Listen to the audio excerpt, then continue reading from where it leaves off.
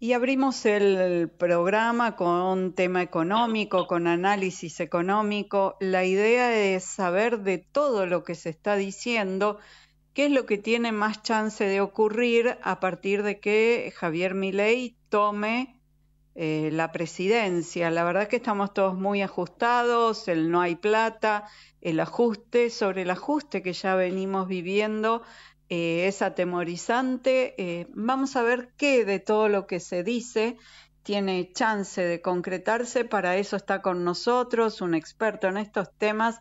Consultamos al economista Aldo Abraham, titular de la Fundación Libertad y Progreso. ¿Qué tal, Aldo? ¿Cómo estás? Muy bien, un gusto estar charlando contigo. Gracias, Aldo.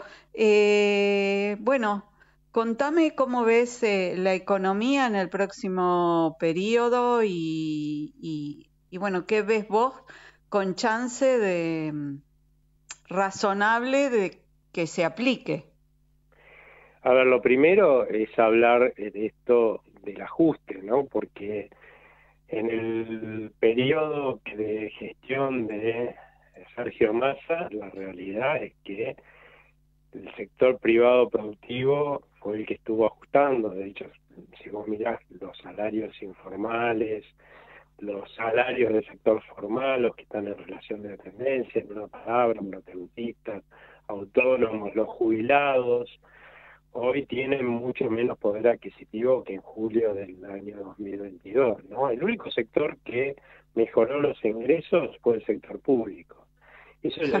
y los encargados, perdón, y los encargados de edificio. Puede ser, pero tan fino no, no hilo, si no viste por las estadísticas del sector que, que publica el INDEC, ¿no es cierto? Y vos lo que ves es eso, ¿no? Entonces vos decís, bueno, pará, entonces los que estamos haciendo el ajuste somos los del sector privado, los del sector público que no están participando del ajuste.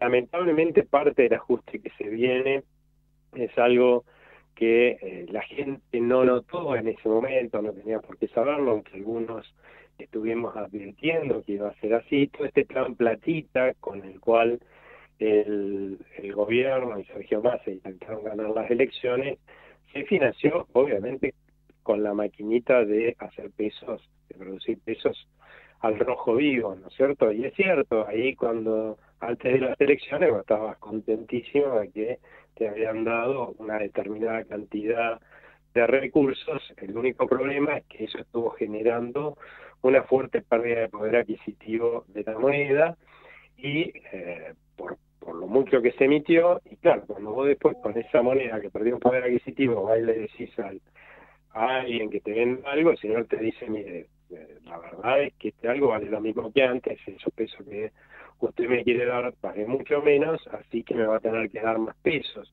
Y eso no se ve inmediatamente en, reflejado en todos los precios de los bienes y servicios, sino que lleva hasta cuatro meses en que lo veamos. Y eso sigue todavía, con lo cual este esto que era la platita de bolsillo, la gente eh, termina siendo pan para hoy, hambre para mañana, porque la inflación nos termina empobreciendo a la larga a todos los argentinos, sobre todo a los sectores más pobres. La casualidad que hoy se hayan conocido los datos de pobreza de la UCA, la Universidad Católica, y ellos están dicen que más o menos la pobreza debe estar en 45%, ¿no? Tremendo, sí, tremendo, Y, y, estos datos fueron a septiembre.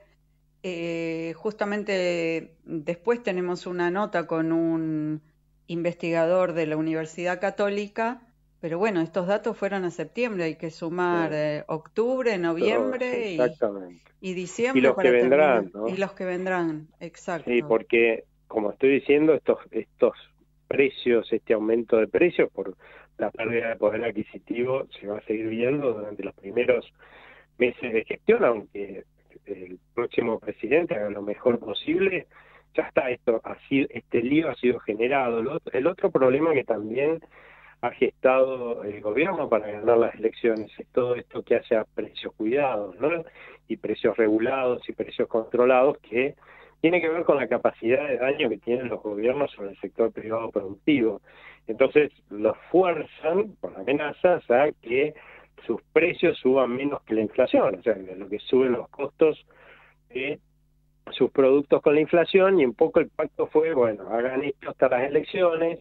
Claro, en algún momento empieza a haber desabastecimiento, porque vos no te conviene venderle, vender esos precios porque perdés plata, entonces los volvieron a prestar. Bueno, provean, aunque sea, le damos un pequeño aumento, pero provean, como pasó con el combustible, ¿no? Sí. Provean hasta el 19 de noviembre, ¿no? Mantengan más o menos las góndolas llenas hasta el 19 de noviembre, claro, pasó el 2 19 de noviembre, esto se acabó y ahora estamos viendo y vamos a seguir viendo hacia adelante las consecuencias de todo esto, que es, ahora vamos a tener que, hay dos opciones cuando vas a ir al supermercado y toda la gente lo está viviendo. Una, o paga mucho más que antes y hay cosas en la góndola.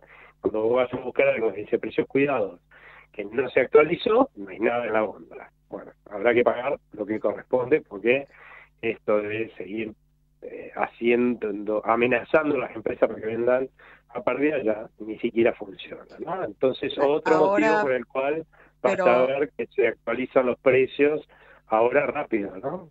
Pero, van a, pero va a bajar el consumo también. Es decir, el, comerciante o, el productor va a aumentar los precios, pero la realidad es que la gente no va a poder consumir en igual cantidad, igual medida. Entonces va, a haber un punto en que oferta y demanda se van a tener que, adecuar.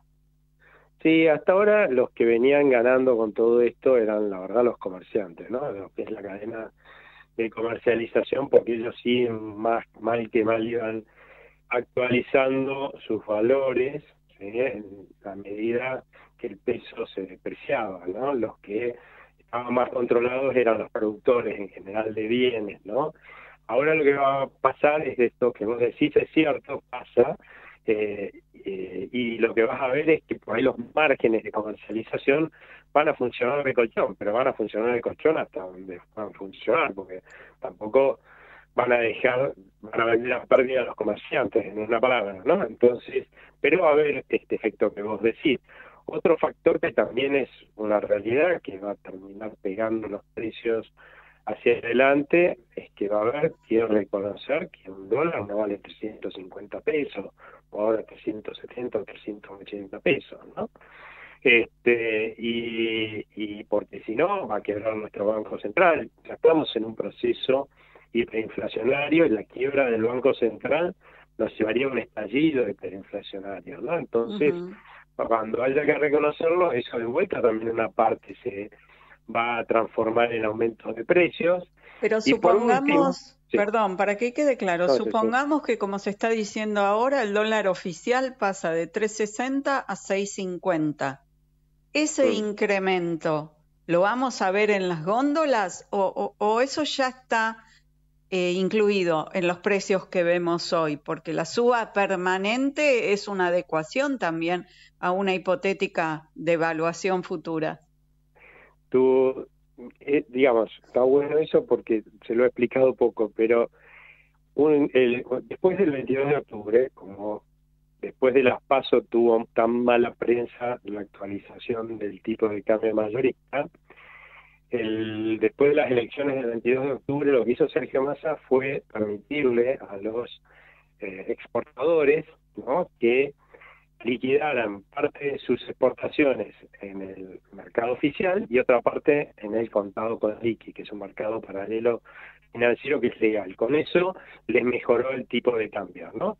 Y los precios de los bienes que se exportan tendieron a subir a ese nuevo tipo de cambio. Esto se repitió después de las elecciones del 19 de noviembre. Al otro día lo que hicieron fue decirle, bueno, la mitad de lo que ustedes liquidan lo tienen que liquidar al Banco Central, lo vamos a pagar el mayorista, la otra mitad que la vamos a pagar, eh, la pueden liquidar en el contado con liqui. Esa mezcla de tipo de cambio, ¿sí? Te da más o menos 650. O sea que si aumentara a 650, ¿no? El tipo de cambio no pasaría nada, solamente pasaría con los bienes que compiten con importados, porque eso sí no, hoy, no cotizan a 650.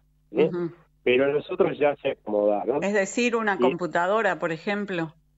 Una computadora que se importa tendría que subir hasta los 650, pero por ejemplo todo lo que es producto alimenticio que se exporta no debería subir mucho más, digamos, por ir a 650 con el dólar mayorista, pues bueno, obviamente va a haber un mercado único de cambio, o sea que ahí se, digamos, se modifica el tipo de cambio, ya no, no hay un contado con liqui al cual vender, ¿no?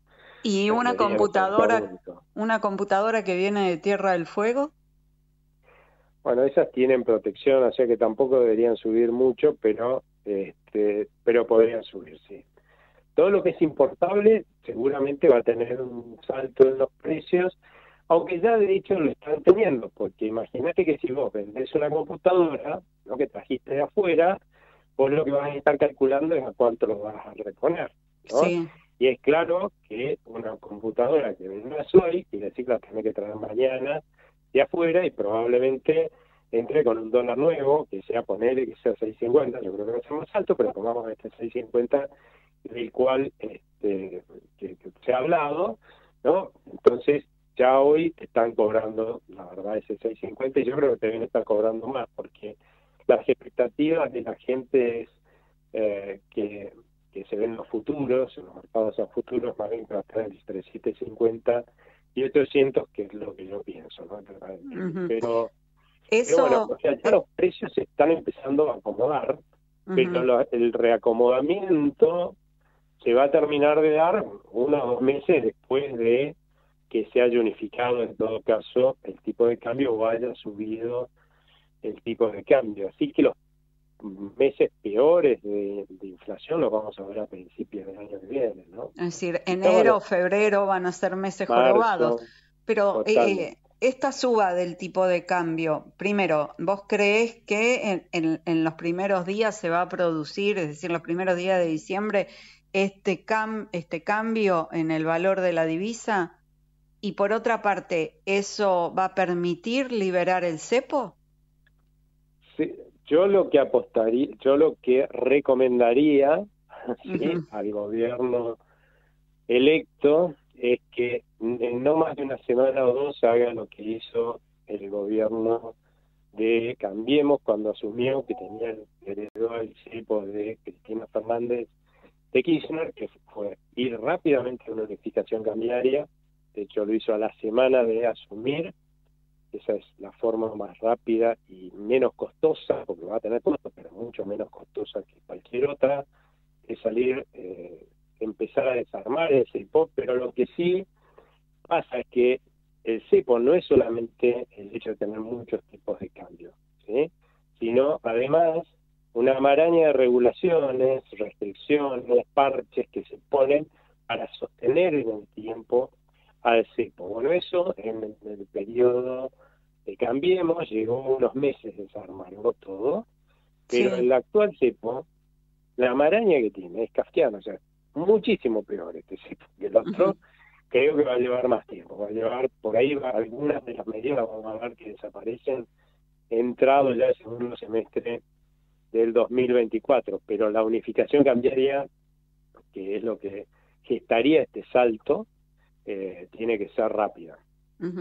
A ver, em, te hago una pregunta más esperanzadora. A nosotros nos vendieron que este año la cosecha va a ser mucho mejor y van a entrar bastante más dólares, con lo cual se va a fortalecer la situación del Banco Central y este, la situación del país. Entonces, y que también se van a gastar muchos menos dólares porque está funcionando el nuevo gasoducto. Entonces no va a haber que importar tanto gas. ¿Todo eso puede abrir un panorama mejor? ¿Es suficiente como para pensar en, cierto alivio?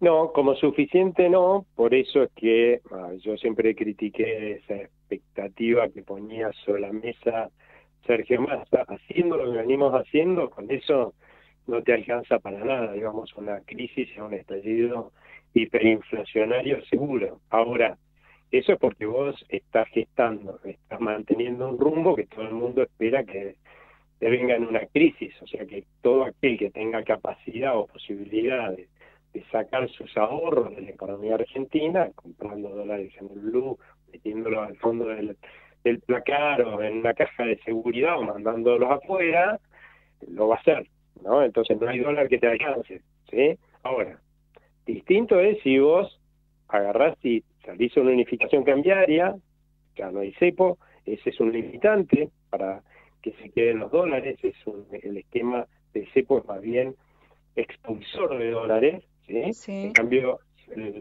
salir a una unificación cambiaria te pone en un papel más de receptor de dólares a partir de a, partir de haber anunciado las reformas estructurales con un nuevo gobierno que tiene más credibilidad, o sea, menos interés en llevarse los dólares, y todo eso que vos acabas de mencionar empieza a ser un factor dinamizador, porque los dólares se quedan acá, ¿no? Si se van, no sirven para nada, la palabra, ¿no? Los generamos acá y se van. Eh, bueno, claramente eso va a ayudar a que este proceso que vamos a vivir, sobre todo el primer semestre, va a ser duro, ¿no? Sea menos duro de lo que podría ser si tuviéramos una sequía o algo por el estilo. Y hay una cosa que todos tenemos que tener en cuenta, es que ninguno de los candidatos que se presentaron para ser presidentes eran magos o magas, ¿sí? Ninguno tenía una varita mágica, todos eran seres humanos, y cuando uno, vos, yo, la gente que nos escucha, hace una macana grande en su casa o en su trabajo, va con una varita mágica y desaparece el problema, aprieta los dientes, esfuerzo y sacrificio, resuelve el problema y después tiene los beneficios de haberlos resuelto. Lo mismo pasa con un gobierno que está liderado por un ser humano, Javier Milei es ser humano, y todos los que están abajo de él, que van a entrar, también son seres humanos, entonces esto es esfuerzo y sacrificio, y resolver el problema y después ver los beneficios de haberlo resuelto, que seguramente llegarán en el segundo trimestre en algún momento en materia de recuperación económica, y que después seguirá en la medida que se hagan estas reformas estructurales, que al principio por ahí la gente no va a tener sensación, uy, estamos mejorando. ¿Por qué? Porque ahora estamos cayendo en un pozo. Lo que vamos a estar haciendo en todo caso es empezar a salir del pozo, seguir dentro del pozo, pero más para arriba, para salir, por lo menos ver la luz ahí arriba, ¿no? No el fondo, no tierra y más fondo del pozo, digamos, ¿no? Oscuridad. Claro. Este, pero bueno, vas a tener a partir de ahí una recuperación económica y en unos cuantos meses vas a sentirte cada vez mejor. Lo otro es la inflación. Como te acabo de decir, lamentablemente vamos a tener tasas de inflación muy altas al principio del año que viene, pero es porque va a que desarmar todo este desastre que hizo este gobierno. Entonces, pues si no, no vamos a recuperarnos nunca, vamos a ir a una crisis, de hecho, a una hiperinflación. Entonces, primero resolverlo. En el segundo semestre del año que viene, vas a empezar a ver que consistentemente y rápido empieza a bajar la inflación. Y bueno, así resuelven los problemas todos los países, porque en todos los países los gobiernos son seres humanos. Si alguien podrá quejarse, eh, bueno, pero el sacrificio y el esfuerzo lo tengo que hacer yo. Yo lo siento, pero el gobierno que se va no lo puso ningún marciano, ningún gobierno de afuera. Lo votamos nosotros, ¿no? Y bueno, cuando uno hace una macana paga pagan las consecuencias y eso es lo que nos va a tocar. Pero te agrego una cosa, discúlpame, que es importante. Ojo, porque ya estamos haciendo esfuerzo y sacrificio y solamente para no ahogarnos. Sí. Mejor hacerlos no para resolver los problemas. Claramente, claramente. La última pregunta que te hago, si vos fueras presidente de la Nación o ministro de Economía, ¿cuáles serían las leyes que mandarías el 11 de diciembre al Congreso, porque estamos todos pendientes de qué va a incluir esta famosa ley ómnibus. Y hay todo tipo de versiones. ¿Qué crees vos que es indispensable que se corrija desde lo legislativo al comienzo de la nueva gestión? Yo lo que creo es que van a mandar eh, proyectos de leyes o hojas de ruta, nos van a dar a conocer hojas de ruta cuando no se necesiten leyes de, para resolver tres problemas fundamentales que tenemos hoy. Uno tiene que ver con eh, que hemos dejado por décadas que construya la política un Estado le sirve a la política y no le sirve a los argentinos. De hecho, el gasto público argentino es, exorbitante, pero si vos te fijás qué deberían estar haciendo el gobierno que nosotros votamos para que administre el Estado eh, para cumplir los roles que manda la Constitución, ¿sí? para en, función de los argentinos, no cumplen ninguna. Entonces, hay que reformar ese Estado para que cumpla con los con los roles que manda la Constitución, que nos sirva a los argentinos, en una palabra, y que le podamos pagar, porque hoy, eh, hoy una persona que ni siquiera llega a ser del sector medio de ingresos está trabajando cerca de la mitad del mes para el Estado, o sea, una locura, ¿no? pero hace rato, ¿no? Hace rato que nos pasa eso, años hace años, pero es una locura de todas formas. Y lo, estamos en el puesto, según el Banco Mundial, ¿no? En el último relevamiento que hizo, en el puesto número 21 entre 191 países del mundo, entre los que más se exprimen con impuestos a sus empresas. Claramente a argentinos y extranjeros le conviene a alguno de los otros 170 países, por eso es cierto? Entonces, claramente acá, entonces tenemos que poder pagarlo, la presión tributaria es muy alta, tiene que haber un, un proyecto de reforma tributaria que nos diga, miren, como vamos a ir eficientizando el Estado, de esta forma en los próximos dos años, no hay más que acá, lo que vamos a hacer en los próximos dos años es ir acompañando con estas rebajas de impuestos. El otro problema, el tercero, eh, que creo que debería inmediatamente encararse, es un tema de desregulación. Hoy hay más de 67.000 regulaciones con las cuales nuestros funcionarios pretenden decirnos a nosotros, que nos levantamos toda la mañana tratando de hacer nuestro mejor esfuerzo, cómo, cómo tenés que manejar tu programa de radio vos, cómo tengo que ser economista yo, cómo manejar un kiosco el kiosquero, y el comerciante su comercio y el industrial su industria. Un absurdo y incumplible, además 67.000 regulaciones, solo para una gran empresa no podría tratar de conocer todo eso y tratar de cumplirlo. O sea,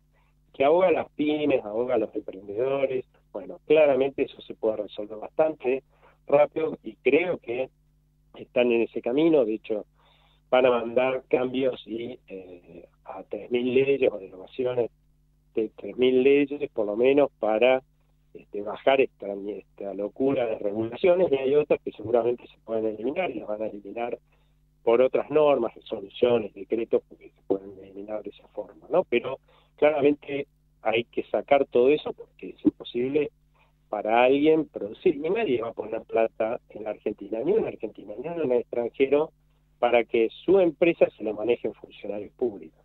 Es obvio. Muchas gracias, Aldo Abraham, por esta clase magistral que nos diste. Hemos abusado de tu tiempo. Bueno, ojalá a partir del 10 de diciembre empecemos a ver la luz al final del túnel, como bien ejemplificaste. Muchas gracias por por, por todo tu aporte. Muchísimas gracias a ustedes. ¿eh? Hasta, la próxima, adiós.